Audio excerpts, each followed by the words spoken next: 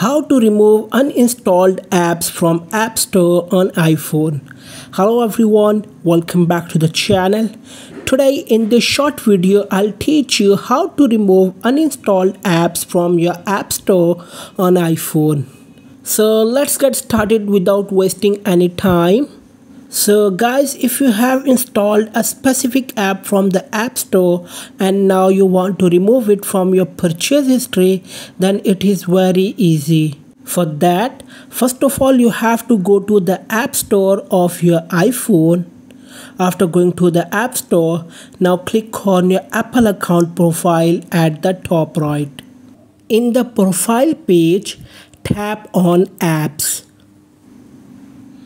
then tap on my apps.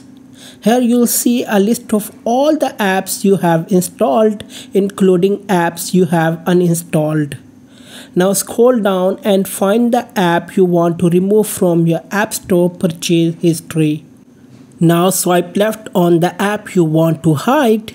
You'll see a hide option. Tap on it to hide your app from purchase history Doing so will remove your application from the App Store purchase history and will not appear again until you reinstall it from the App Store.